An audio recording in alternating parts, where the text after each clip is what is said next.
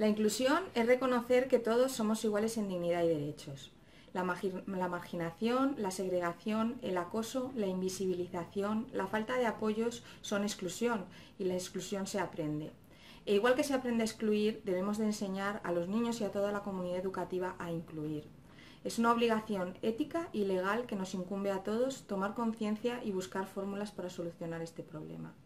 Los padres deben educar a sus hijos en la empatía y en la idea de que la diversidad genera riqueza, que la interacción entre niños diferentes, si se canaliza adecuadamente, genera más aprendizaje, y no en la idea de que los niños con discapacidad retrasan la adquisición de conocimientos académicos.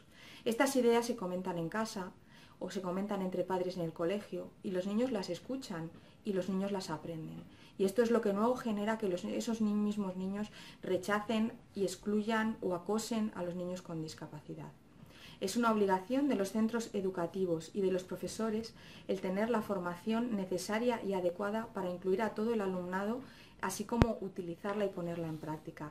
Y es esencial que enseñen a sus alumnos a incluir a todos y que ellos mismos eduquen a todos los alumnos por igual. Es obligación de la Administración el asumir que deben garantizar que los centros educativos y la enseñanza sean inclusivos. Y es obligación de la Administración el evitar excluir al alumnado. Por ejemplo, eh, se está excluyendo al alumnado cuando no se dota de recursos necesarios. a, día de hoy la, las ayudas al alumnado con necesidades educativas especiales son las mismas que en el año 2010, cuando sabemos positivamente que el coste de las ayudas o que el coste de la inclusión del alumnado ha subido.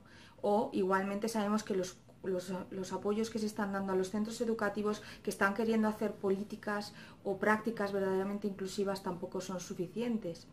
La Administración además tampoco aborda el problema. No existen datos sobre qué apoyo está recibiendo el alumnado ni tampoco sobre qué efecto está teniendo ese apoyo sobre la inclusión del alumnado.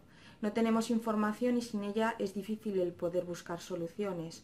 De hecho, parece que el problema no existe y que está todo bien, ¿no? cuando sabemos positivamente que, eh, existe y que necesitamos cambiar tanto la educación como, la sociedad.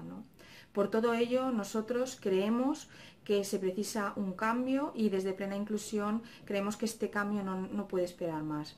Así nos ponemos, ponemos todo nuestro apoyo a disposición de las administraciones y de la comunidad educativa para poder impulsar eh, el cambio y que dentro de unos años haya una verdadera inclusión de todo el alumnado.